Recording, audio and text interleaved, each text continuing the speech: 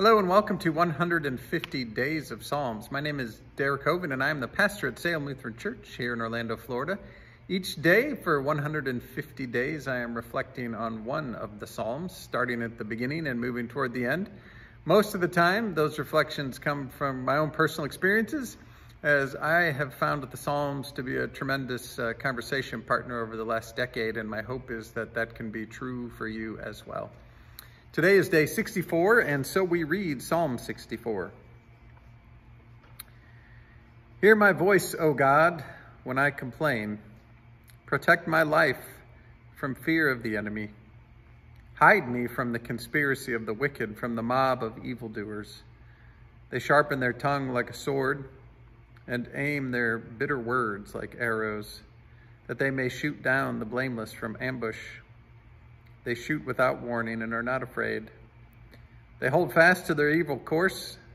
They plan how they may hide their snares. They say, Who will see us? Who will find out our crimes? We have thought out a perfect plot. The human mind and heart are a mystery, but God will loose an arrow at them, and suddenly they will be wounded. God will make them trip over their tongues, and all who see them will flee in horror.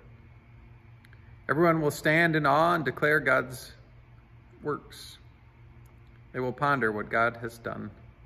The righteous will rejoice and put their trust in the Lord, and all who are true of heart will glory.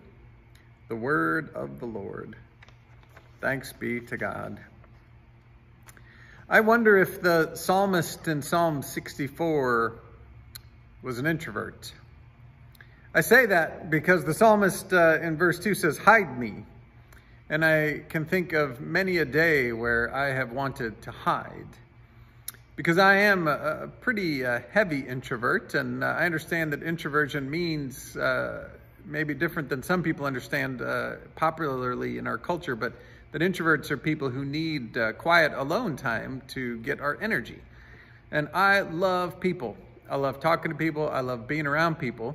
But at the end of a day, if I have a whole lot of people engagement, it just drains all of my energy. And that's not a bad thing or a good thing, it just is. And at the end of a day like that, I need some time, some time by myself to recharge and uh, get energy back so that I can do the same thing again the next day. I remember when I worked as a hospital chaplain where my days were filled with intense human connection whether it was in conversation with my colleagues or conversations with patients and their families and prayer in those spaces. At the end of the day, I would come home and just sit by our back patio and look out the window a bit to just decompress and get disconnected from uh, that human interaction. And again, I love being around people, right? It's just an energy thing that goes along with it. Sometimes there's a, a, need to almost hide and be alone so that I can continue to be around people and have the energy to do that well. And when I hear the psalmist then say, Hide me from the conspiracy of the wicked, from the mob of evildoers, and it goes on to talk about their sharp tongues and the ways that they are interacting with the psalmist, you get a sense that the psalmist is weary of this people interaction. And we don't know who these people are. They could be adversaries in the community. They could even be family members that the psalmist has a struggle with. Uh, but amidst of all that, the psalmist needs some time away. And it's not just time to escape the abuse that they are experiencing, but time to recharge, time to be grounded in some conversation with God. The end of the psalm says, The righteous will rejoice and put their trust in the Lord, and all who are true of heart will glory. This is the psalmist's desire. And so this prayer to be hidden is a prayer to head towards that desire, to be able to be uh, grounded and, and to land in that righteousness of God, so that when the psalmist comes back out to deal with the difficult people that they are dealing with, they have a new sense of energy and a sense of grace that grows out of this love and presence of God to guide those interactions. And I could get all of that as an introvert. And most of my days aren't days filled with all of this uh, intensity of adversity that the psalmist has. Uh, even on the good days, sometimes uh, we just need to take a moment to be in God's presence.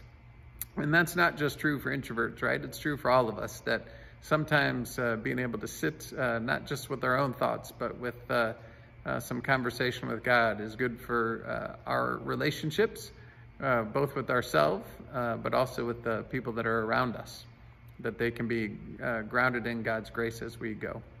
Let us pray.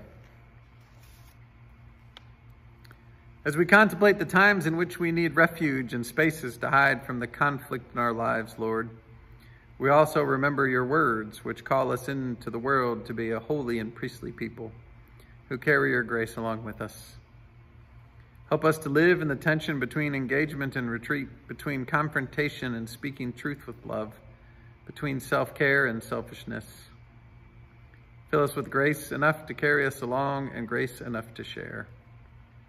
Amen. Thank you for joining me for 150 Days of Psalms. We will return tomorrow with Psalm 65.